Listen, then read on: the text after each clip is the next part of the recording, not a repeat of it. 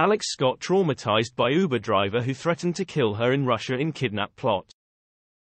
Former Arsenal women's football player Alex Scott, 38, has dramatically revealed that she was left terrified after being threatened with kidnap by an Uber driver in Russia and was only let go after claiming she knew President Putin.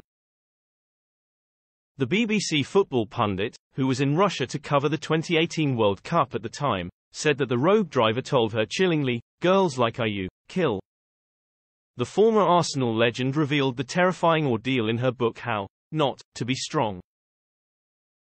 Alex recalled meeting with a friend for a drink and instead of using the BBC-approved pre-booked cars, she decided to use a local Uber instead. Within minutes of getting into the car, Alex knew that there was a problem.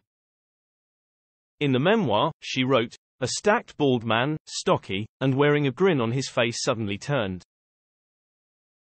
She went to write that, chillingly, he told her she wasn't going home.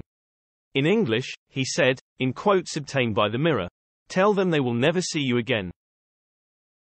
Shocked at his claim, Alex said that she could only stammer a weak response, answering the potential kidnapper with, I don't understand. Alex was convinced that the threat was serious as the driver then took out his phone to use Google Translate and tell her exactly what he planned to do to her.